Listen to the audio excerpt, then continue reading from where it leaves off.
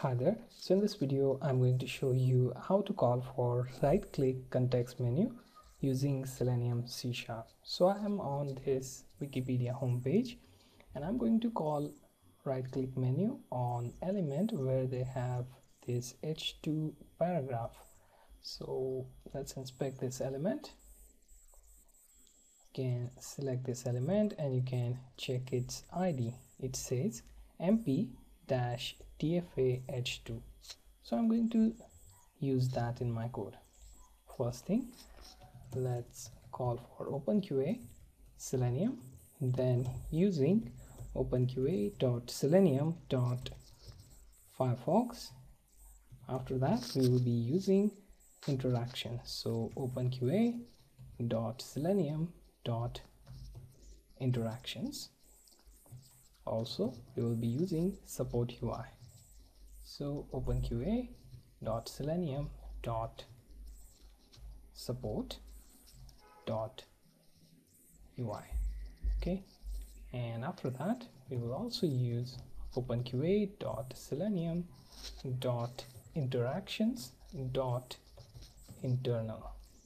Okay? These are the classes that we want to use and now let's start by creating driver instance where driver equals to new firefox driver.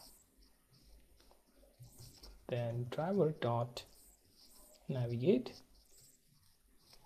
Then go to url here i'm going to http and dot wikipedia.org okay now I'm going to use iWeb element. Element equals to driver dot find element. And by ID I'm going to check for that element. And that element is mp-tfa-h2 okay? So once you find that element you are going to take some pause for let's say 6000 ms which is 6 seconds. Now the next class is actions class. We call actions builder equals to new action.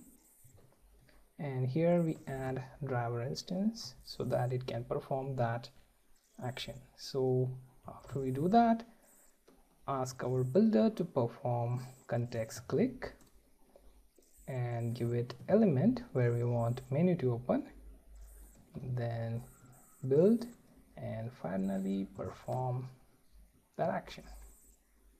Okay so this is pretty much it. Okay so build is in this context is basically a method instead of just build so that pretty much covers our error. Okay now i'm going to execute it and see how our right click context menu appears. Okay this opens console window and also browser window.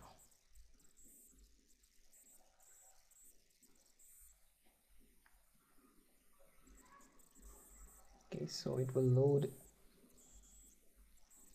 Wikipedia page and on the element that we specified it will open right click menu. So let's wait for it. And it appeared. So as you can see it shows the right click menu within Firefox browser. Now we can close the windows. And this is the code that we have for opening right click context menu